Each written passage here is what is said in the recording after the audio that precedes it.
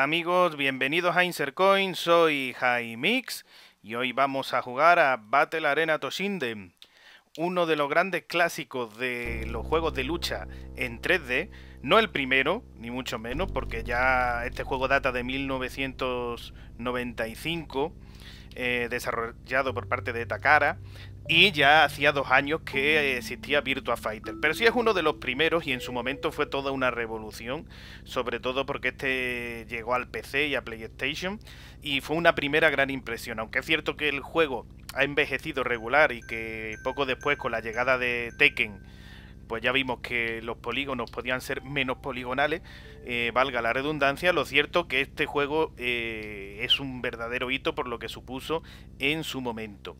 Y nosotros pues vamos a jugar a la versión de eh, PC. Aquí nos vamos, vamos a coger a Eiji y os voy a contar cómo me hago yo el juego. El asunto está en que en esta versión doméstica hay una cosa bastante interesante y es el hecho de que eh, los combos hay dos combos que tiene cada personaje, eh, uno eh, a, corto, a corta distancia y otra a larga distancia, que se pueden eh, asociar directamente a un botón. Y entonces mi forma de jugar se va a basar básicamente en eso, dependiendo del rival que tengamos en cada momento. Bueno, aquí veis que he estado todo el rato prácticamente utilizando el combo de corta distancia, que es el que se arrastra, como estáis viendo, arrastrando un poco por delante, poniendo la espada eh, golpeando contra el pecho del contrincante. Más, más, más pecho aún con aquí la amiga Sofía que no pasa frío. Y como veis aquí, eh, simplemente estoy cogiendo un poco de timing para cuando se levanta volver a darle. Esto funciona eh, ahora mismo así de bien porque estamos en el primer combate y Sofía defiende un bastante regular este combo que os estoy comentando ahora. Pero ya vais a ver que según vayamos avanzando y según con qué personajes, eh, vamos a tener que hacerlo un poco distinto. Bueno, ahora nos enfrentamos a Kajin y este ya tiene un arma. A los que tienen un arma hay que hacerlo un poquito distinto. Eh, quizás con Kajin no va a hacer falta porque todavía eh, estamos en los primeros niveles, pero lo cierto es que los personajes que se defienden con armas se tragan menos este combo a corta distancia que estoy haciendo aquí, ¿veis?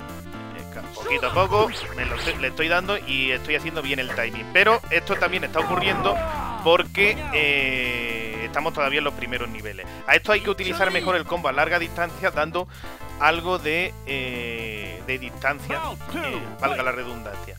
Bueno, vamos a volver a intentar hacerlo igual, ¿veis? Le hago el de corta distancia. Normalmente el de corta distancia se lo suelen tragar justo después de que hayan realizado un movimiento que quedan un poco así al descubierto. Bueno, aquí hay que tener cuidado porque si no Ahí, ¿veis? Me ha hecho el giro y me he quedado ahí un poco vendido. Porque entonces me puede empujar a mí contra el precipicio. Aquí queda un hueco. Bueno, qué poquito. Y aquí lo que me ha pasado. Ha hecho el giro sobre sí mismo. Y mm, se me ha quitado de mi trayectoria y me he caído por el fondo. Eso es lo que hay que tener más cuidado principalmente porque es como puedes cagarla en un, en un round, como veis aquí, que ya tenía prácticamente ganado.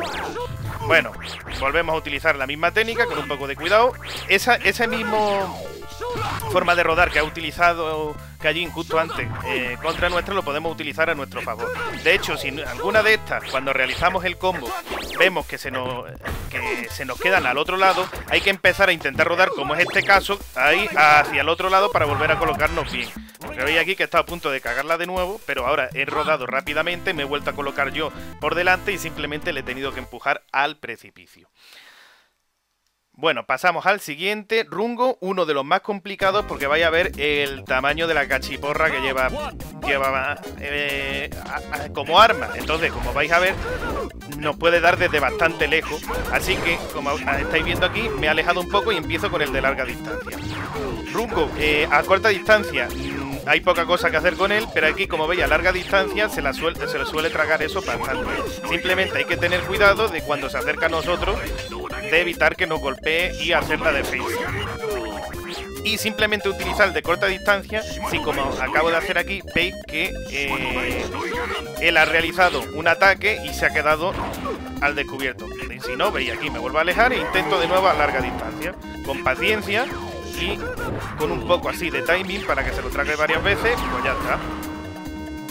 sin problema ninguno. Pero este, si intentáis el enfrentamiento cuerpo a cuerpo, os va a dar un cachiporrazo y se acabó lo que se daba. Así que, como vais a ver aquí, de nuevo, me voy a ir alejando como no quiere la cosa. Bueno, aquí he probado a ver si le entraba de primera y ha sido que sí el, el corto. Y aquí de nuevo, veis, lo he, probado de nuevo, pero si estuviéramos en una fase más avanzada, probablemente se no hubiera entrado. Así que yo sigo aquí a mi distancia. También hay que tener en cuenta que si él hace el combo a larga distancia, yo puedo defenderme del mismo con, el, con mi propio combo. Y no me afecta tanto que si me diera directamente. Y como veis aquí, el de corta distancia, solo cuando veamos que no ha dado un golpe.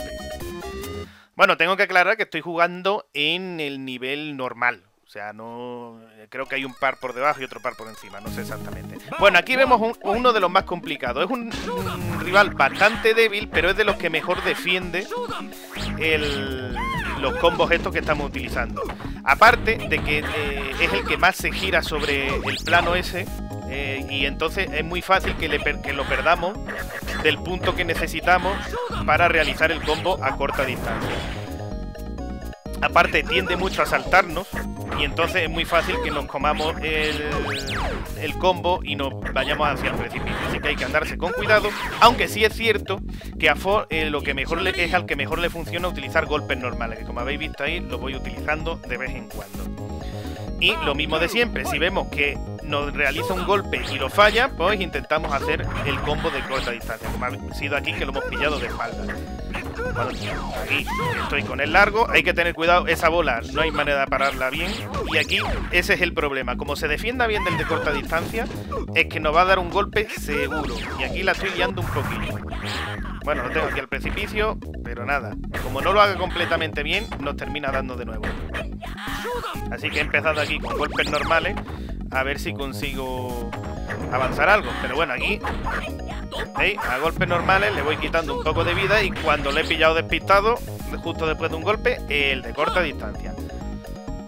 Como veis, más o menos eh, la forma de jugar que utilizo es la misma, pero la adapto un poco al tipo de enemigo que nos toca.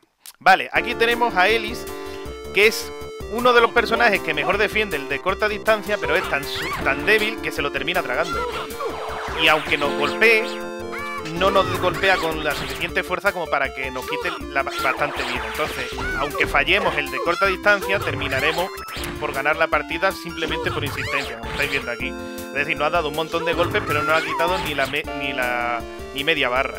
Y aunque consigue defenderse un poquillo, la mayoría de las veces se lo se traga nuestros golpes por la propia debilidad que tiene el personaje. Aquí de nuevo vuelvo a intentarlo. Se lo termina tragando. Como esperemos un golpe... Además pasa eso. Aunque el golpe lo lleguemos a recibir, da lo mismo, porque su golpe va a ser más débil que el que nosotros podamos hacerle eh, con el combo una vez que ella se haya, se haya quedado sin defensa, como es el caso. Aquí estoy recibiendo de lo lindo, pero no me preocupo, porque sé que, es que le, le voy a terminar dando bien. Ahí estamos. Y bueno, veis, da igual si es que sus golpes nos quitan muy poco. Aquí está con el pincel del honor. Y veremos si nos la liamos al final. Ahí, perfecto. Pasamos a la siguiente ronda. En este caso nos enfrentamos a Mondo. De nuevo, personaje con armas a larga distancia. Y aparte, eh, la vara esta que utiliza Mondo eh, consigue llegar bastante lejos. Y aparte tiene un, un golpe eh, en molinillo que es bastante complicado.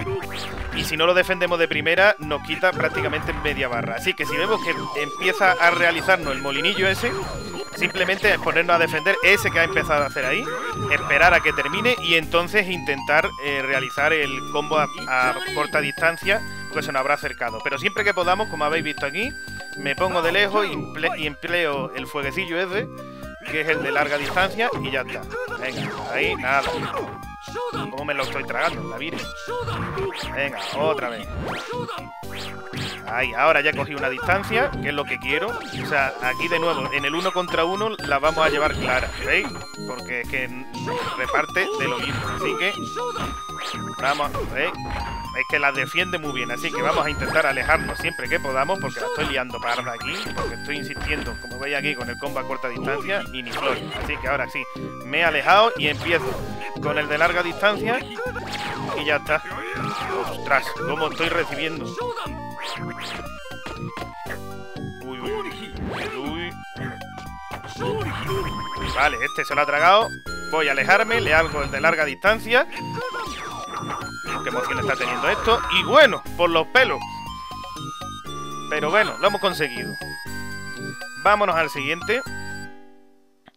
Que en este caso va a ser el Duque. Duke. Eh, que también de nuevo tiene un espadón como un demonio, fijaos. Vamos, espadón hecho con... Tomando de modelo a Nacho Vidal, la Virgen. Bueno, pues lo mismo, alejarnos porque además con ese espadón eh, nos puede dar desde bastante distancia y aparte este personaje tiene un combo que empieza a dar mandoble de todo tipo y como te pille por medio la has liado pero bien. Así que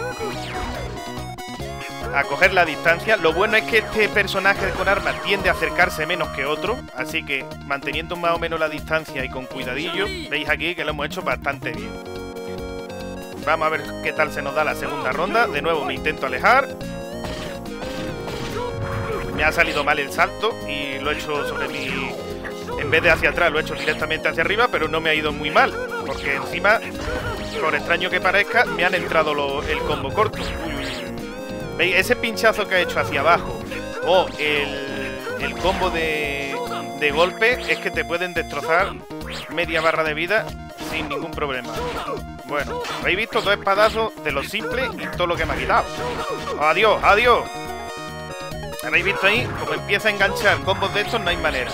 Pero bueno, he tenido aquí un poco de suerte. Y nos hemos cargado uno de los más complicados, sin duda, eh, del juego. Bueno, habéis visto que me he quedado sin personaje, así que bueno, nos enfrentamos a nosotros mismos. La teoría es exactamente la misma. Como es personaje con, con arma, pues se puede hacer a una cierta distancia. Pero también hay que tener en cuenta que Eiji es el que tiene una de las armas más cortas. Por tanto, no llega a aplicarse del todo. Y suele tragar bastante el combo corto y además tiene eh, esa tendencia a hacer eh, el, Cuando lo controla la máquina, tiene también tendencia a hacer el combo corto. Si habéis fijado, el combo corto termina con un salto inútil hacia arriba, eh, girando sobre sí mismo.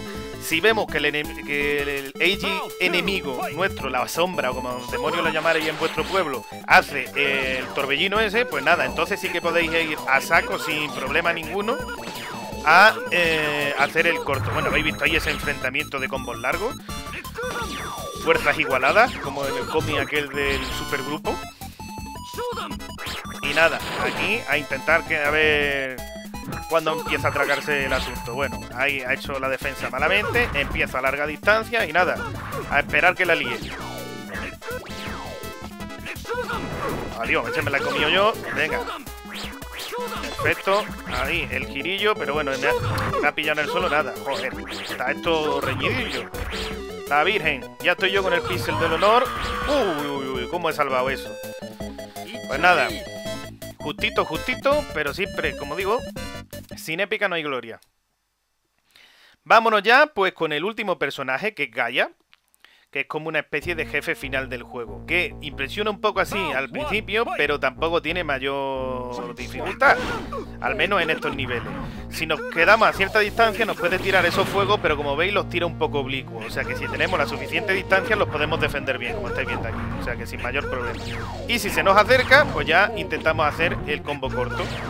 Pero aquí a larga distancia veis que se lo traga bastante bien. Y cuando empieza a hacer el combo ese de que sale como una especie de nube blanca, eh, podemos aprovechar, si tenemos somos lo suficientemente rápidos, para hacer el corto. Habéis visto aquí que no ha habido mayor problema. Y volvemos a realizar la misma técnica. Intento hacer el corto, la he cagado porque tenía que haber esperado que hiciera la nube esa blanca. Pero bueno, ahora sí se la ha tragado, me voy a larga distancia. Y de nuevo vuelvo a intentar lo mismo de siempre. Adiós. Bueno, pues se lo está tragando a base de bien. Pues mejor para mí. Hostia, ese sí que me lo comí. Pues nada, empieza aquí a larga distancia y con esos tiros oblicuos no llega. O sea que vaya mierda de jefe final. Como estáis viendo, fijaos, es que me a, a muy poca distancia, como estáis viendo. Y ya está, no hemos terminado el juego. Como veis, a nivel, a nivel normal, si cogemos 4 o 5 truquillos y aprendemos un poco cómo son nuestros enemigos, no tiene mayor eh, misterio el juego. Bueno, en esta versión de PC, ya no me acuerdo cómo era en la recreativa, pero bueno, en esta versión de PC, aquí veis que el final es un poco cutre salchichero con un mensajito de mierda. Y diciéndonos que esto no es el final, que es solo el principio, y de hecho llegaron una serie de secuelas poco más tarde. Y como regalito, pues nos da un combo nuevo para que aprendamos, pero como habéis visto, con los combos básicos que podemos asociar directamente a una tecla, tenemos más que suficiente. Y bueno, ya está. Por mi parte, poco más. Recomendaros eh, que probéis este juego para que veáis cómo eran los primeros juegos así poligonales en 3D. Y como siempre, emplazaros hasta el siguiente vídeo de Insert Coin. ¡Hasta luego!